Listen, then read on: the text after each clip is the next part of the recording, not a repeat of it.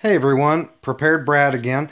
Uh, just made a brooder for my quail that I have ordered. Um, I wanted to make a short video to kind of walk you through that process. I'm ordering eggs from James Marie Farms. They're out of Louisiana. I'm getting their Pharaoh quail, which is actually a, a jumbo quail. They average 10 to 12 ounces. Um, I have some Bob White quail now, but they're only about six. Uh, spoke with the gentleman at James Marie Farms for about an hour. He was extremely informative, went through everything. What I'm looking for is meat birds that produce the most eggs and that'll produce the largest eggs.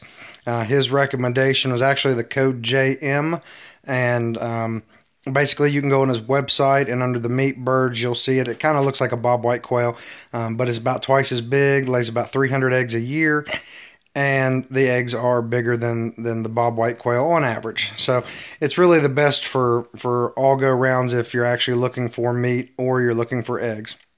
So the actual brooder that i made i bought the 50 gallon quart from walmart and it's see-through. That way i can keep an outside light on in the room. And as the brooder light goes on and off because it's set to the temperature control regulator in the top right hand side that box there. Um, you just saw it cut off. They still have light inside so it's not going from light to total darkness and then back to light then total darkness. Now the box on the right and the actual brooder i got the designs from a youtube channel called slightly rednecked. Uh, chris is the one that does that and he has models for doing both of these. I copied off of him just as you're watching this video to try and figure out what to do as well. That's where I got these ideas from. Um, so the box on the right, like I said, it's a it's a temperature control regulator. And basically, I've got it set at 98 degrees. It turns off when it reaches 98. And then when it goes back down to 96, it'll turn back on. Um, it's an Inkbird ITC 1000F is in Frank that goes in that box. You can buy that from Amazon, about $20, $25, including shipping. If you have all the other parts laying around your house, you can make that box on the top right for about 25 If you have to buy everything, it's about $60. The brooder itself, the tote is 20 at Walmart. Uh, the two red 250 watt lamps are you get a two pack for about eight or nine dollars at Tractor Supply, and the lamp itself is is about eight or nine dollars from Tractor Supply as well. Really all, all I did here guys was I cut the top half one half off of the lid um, but I actually did it inside. You don't want to cut it all the way to the edge because it still has to go down and sit on the inside. It still has to lock on. So you want to actually give yourself a little bit of room here to be able to put this hardware cloth up from the bottom drill two holes on side by side squares and then I just use zip ties to go up through clamped it down. Do that about 12 times going around. And you can play with it by adding paper or cardboard to insulate the heat and reduce the heat loss that comes in and goes out. I cover it up to give it the maximum heat that goes in so I could run through as many cycles as possible so you can see how it works. It just hit 98 degrees so again it just turned off. Um, you can see the thermometer is this little cord that runs down. It's at quail height through here. The chips I have in are the big chips you don't want to use the small, real fine chips because they can get dusted up when the quail are running around, can actually get lodged in their nostrils and it can suffocate them. So that's that's another little tidbit there. Um, but basically, you know, I just set it up. It's two months away.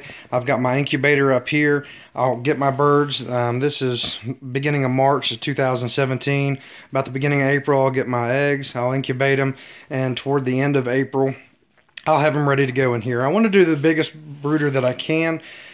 That way, if I get a larger batch or a future larger batch, I'll have plenty of room for growth. It'll look tremendously large when I put one day's one day old birds in it because the, they just won't fill up much. But when you're going to keep them in there for four weeks, by the time the end of that four weeks comes, they're going to be crammed for space. And instead of doing a smaller one, like was which was the original video, um, and then come to a point to where they grow up and I don't have enough room and then I have to go build another entire tote, I have to build another temperature control regulator and buy another lamp. You know, I, I just wanted to, you know, pay an extra ten dollars for the larger larger tote and you know be able to to utilize as much space as I can. The main thing that I can tell you guys is you're supposed to start at 95 to 100 degrees the first week and then go down 5 degrees each week after that um, until about four weeks you can kind of cut it off but I've got it set at 98, which you know everybody says 95 to 100. I just kind of put it in the middle. Once I get my birds in here, I'm really going to check them closely for the first several hours. If they're all huddled underneath of the lamp, they need more warmth. I'm going to turn the temperature up a little bit. If they're evenly distributed throughout the, the brooder, I've got my temperature correct. If they're all the way on the other side, then it's too hot and they're trying to run away from the light, and I'll turn the light down. So although the 95 to 100 is a benchmark, five degrees each week after that, um, use your birds and let them tell you. You know they, they've they've been doing this for a million years.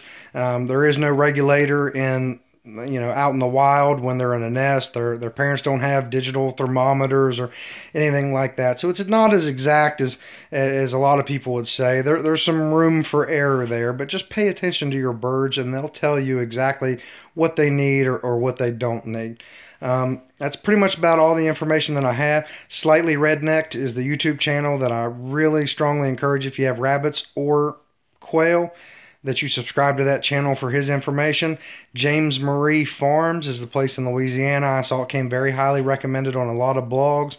I called. The guy spoke to me for an hour. Very informative. Um, they have a lot of breeds. They've been doing it family owned for 50 years. So they were good enough for me to make my order through. So um, I will keep you guys updated with more posts as I get my eggs in, as I incubate them, and then when I move them over to the brooder so we can kind of see where we're going to be there. Um, but it's at least going to be probably about a month before I start the next incubator video because that's when I'm going to get my eggs. So leave comments. Uh, let me know what you think. Hit a like if you like it and subscribe to my channel. Um, other than that, I'll look forward to putting the next video up when it comes. Thanks.